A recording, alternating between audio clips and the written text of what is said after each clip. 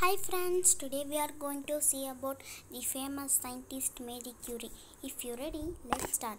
She was the first woman to win a Nobel Prize. She was the first woman to win a Nobel Prize. She was born in Warsaw, Kingdom of Poland on November 7, 1867. Her father name was Vladislav Sodarsky and her mother name was Bronislava Sodarska. Her father and mother was the was a teacher. She was the youngest in the five children.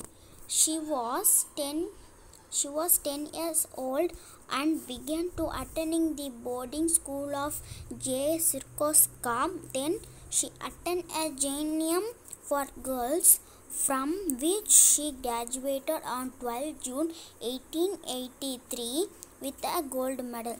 She started her practical scientific training at the chemical laboratory. In in 1891, she moved to France. She, her, she enrolled herself at the Sorbonne University in 1893. She was awarded a master degree in physics. She returned to Paris to pursue a PhD. In 18 in 1894, Mary met Pierre Curie. Like Mary, he was a scientist. They married. They married on July 26, 1895, and they had two daughters. Mary became fascinated by rays that, were recently discovered by scientists Wilhelm Röntgen and Henry Becquerel. Her her husband and uh, her Mary husband and spent Mary and her husband spent many hours in the science lab investigating pitch blende and the new element. They eventually figured out the there were two elements in pitchblende. They discovered they discovered two elements, new elements for the periodic table. Mary named one element Mary named one element of the is polonium after her after her homeland Poland. She was named she was named other other radium because it gave off such strong rays. Okay, next we can see. Okay, the Curies came up with the term radioactivity to discover the elements that emitted strong rays. In 1903, in 1903, in the Nobel Prize in Physics was awarded to Marie and Pierre Curie as well as Henry Becquerel for their work in radiation.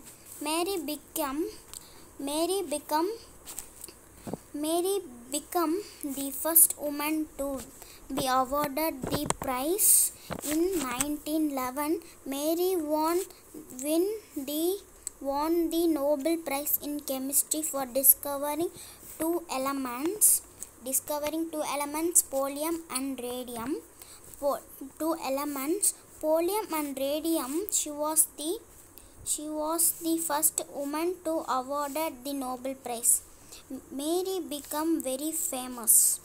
Scientists came around around the world to study radioactivity with Mary. She was the first woman to be awarded the prestigious Nobel Prize and the only to win it. It too failed and multiple scientists.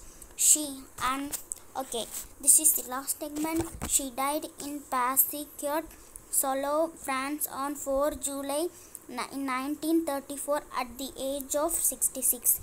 Okay, and her famous quote is Nothing in life is to be feared, it is only to be understood. Now is the time to understood more so that we may fear less. Mary Curie. And this is her signature.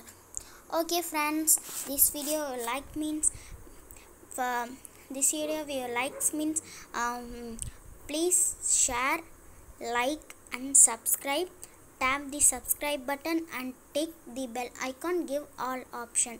Yes friends this way. Okay friends in next video we can see in which scientist you want to see uh, information. Means give in comment box. Uh, i will i will uh, put the that science scientist. Okay friends bye